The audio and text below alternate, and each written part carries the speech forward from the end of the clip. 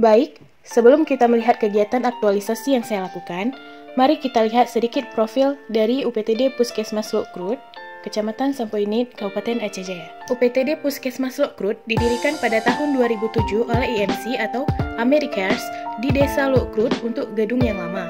Dan untuk gedung yang baru, terletak di Jalan Banda Aceh Melabuh, Desa Kuala Ligan, Kecamatan Sampoinit, Kabupaten Aceh Jaya. Sehingga akses mudah dijangkau oleh masyarakat, jarak puskesmas dari pusat kecamatan lebih kurang 3 km. UPTD Puskesmas Lokrut membuka unit pelayanan 24 jam disertai pelayanan rawat inap, rawat jalan, dan instalasi gawat darurat. Demikian profil singkat UPTD Puskesmas Lokrut dan selanjutnya saya akan menampilkan dan menjelaskan kegiatan aktualisasi saya selama satu bulan terhitung mulai tanggal 13 November sampai 17 Desember 2022.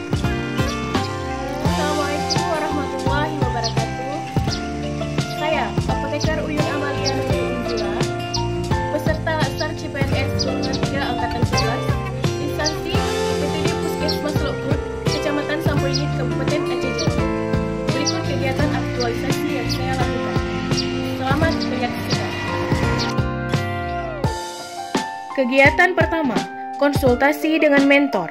Menjelaskan kegiatan yang akan saya lakukan selama satu bulan ke depan. Di sini saya mendapatkan persetujuan untuk melakukan kegiatan aktualisasi dan berdiskusi serta meminta arahan, masukan terkait rencana kegiatan yang akan saya lakukan. Nilai ASN yang terkandung di dalamnya adalah nilai harmonis, kolaboratif, kompeten, akuntabel, dan loyal.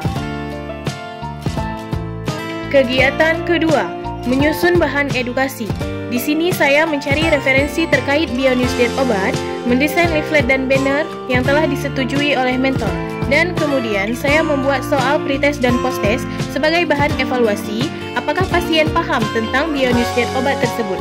Nilai ASN yang terkandung di dalamnya adalah nilai kompeten, akuntabel, berorientasi pelayanan, adaptif, dan kolaboratif.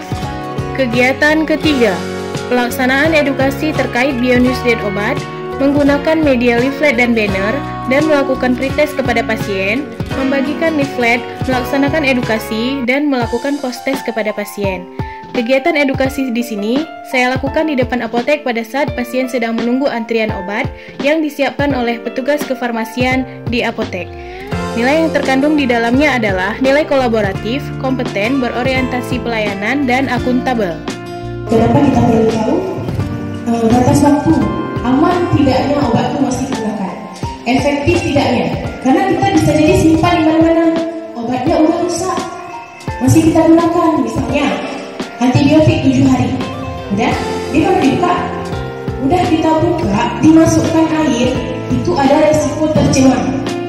Mikroba atau namanya kuman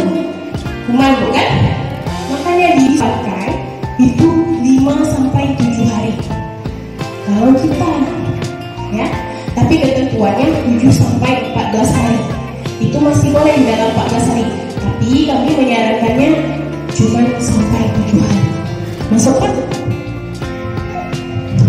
Nah, silakan Pak resep di keranjang Pak ya.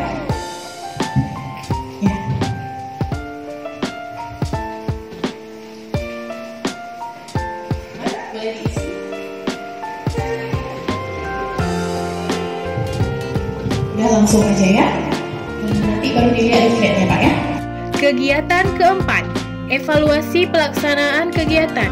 Di sini didapatkan hasil rekapan dan teranalisisnya hasil pretest dan post-test pasien serta didapatkan kesimpulan bahwa terjadi peningkatan pengetahuan pasien terhadap batas waktu penyimpanan obat setelah dibuka dari kemasannya secara baik dan benar. Nilai ASN yang terkandung di dalamnya adalah nilai harmonis, adaptif, berorientasi pelayanan, dan akuntabel.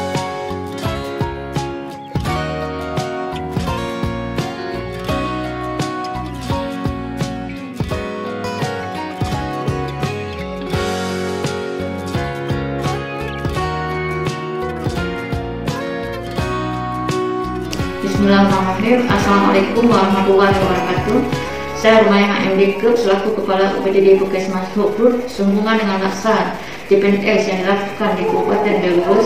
Saya sebagai mentor Bu Amelia sangat mendukung kegiatan kategorisasi yang dilakukan tersebut. Semoga dengan diadakannya kegiatan kategorisasi ini dapat meningkatkan profesionalisme ASN dengan menerapkan nilai berakhlak. Assalamualaikum warahmatullahi wabarakatuh.